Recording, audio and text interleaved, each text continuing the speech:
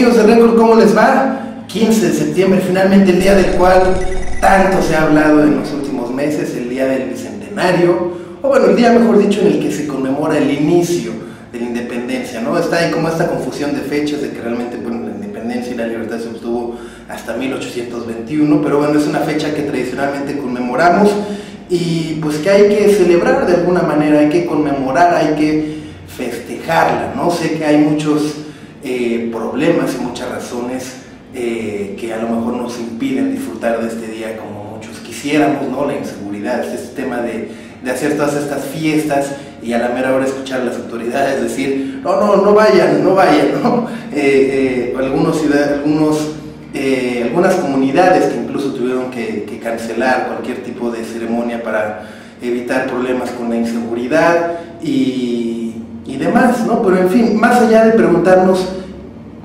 qué vamos a celebrar es por qué no hay que celebrar, ¿no? Y hay, de ahí pueden salir varias razones, pero también al mismo tiempo hay que hacer nuestra lista de por qué sí se vale celebrar, ¿no? Y, así como muchas veces criticamos a todos aquellos políticos y personajes que hacen eh, pues que la vida en este país sea complicada, me parece que muchos también podríamos comenzar a demostrar nuestro amor a México pagando impuestos, eh, respetando eh, pues las leyes, ¿no? Eh, ¿no? ¿no? andarle jugando, sobre todo hoy, no andarle jugando al vivo con el alcoholímetro, ¿no?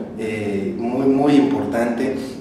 En fin, hay muchas cosas que todos también como ciudadanos nos corresponde hacer para poder celebrar el bicentenario, para poder demostrar nuestro amor al país.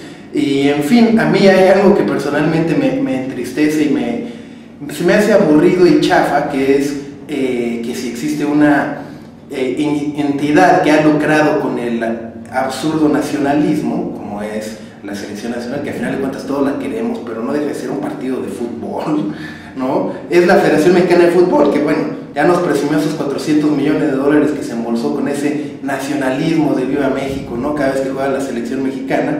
Y bueno, pues ahora nos desampara por completo, ¿no? A mí me hubiera gustado que cada 16 de septiembre hubiera una doble fecha, ¿no? En la cual hubiese disputado una jornada de, de, del torneo, hubiera partidos atractivos, incluso hubiera sido una magnífica fecha para programar el América Chivas y demás.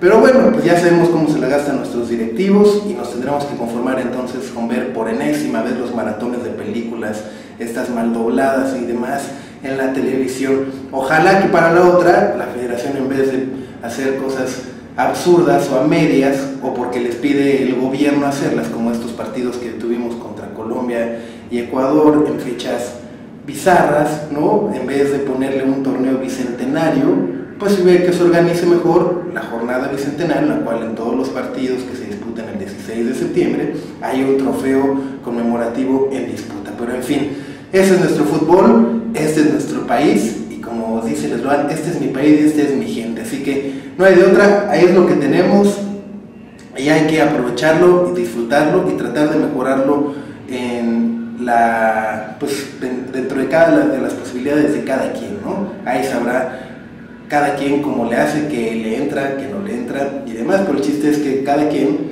vayamos poniendo nuestro granito de arena para hacer de este país mejor. Que tengan un feliz grito, cuídense mucho, insisto, no, no se traten de pasar de vivos ahí con el alcoholímetro y sobre todo con el alcohol y el volante.